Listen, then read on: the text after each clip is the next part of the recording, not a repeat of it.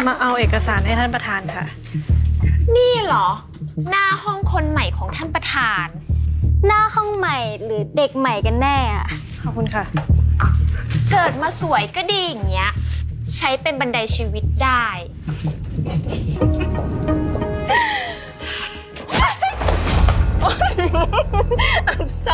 อดีมองไม่เห็นนะอ่าฉันหวังว่าเธอคงจะไม่ไปฟ้องท่านประธานให้ไล่ฉันออกนะ ฉันกลัวจังเลยอะไปก่อนนะอุ๊ย sorry นะพอดีฉันไม่เห็นอะฉันไม่ได้ตั้งใจอะนี่ เธออย่าเอาเรื่องนี้ไปฟ้องคุณสุภางนะ ฉันกลัว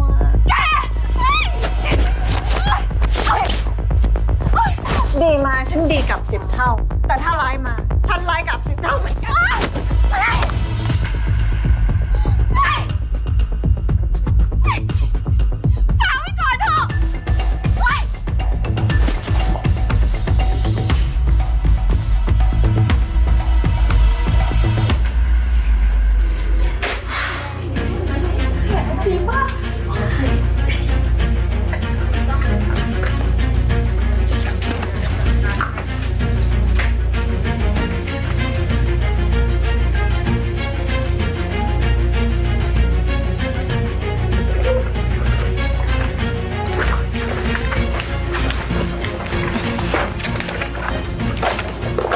ช่วยนะคะ